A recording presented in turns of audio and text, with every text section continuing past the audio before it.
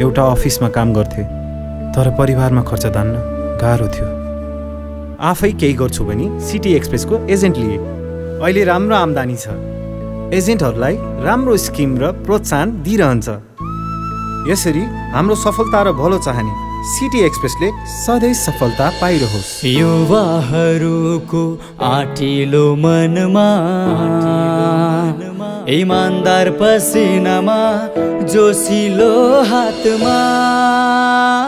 हामीलाई छ सबको आशीर्वाद। Express City Express City Express City Express. City एक्सप्रेसले दिँदै आएको सेवाबाट खुसी भई हाम्रो ग्राहकहरूले दिएको आशीर्वादले नै आज हामी सक्षम र ऊर्जावान बनेका छौँ। आशीर्वादको निम्ति सम्पूर्ण नेपाली दिदीबहिनी दाजुभाइहरूलाई धन्यवाद। City Express.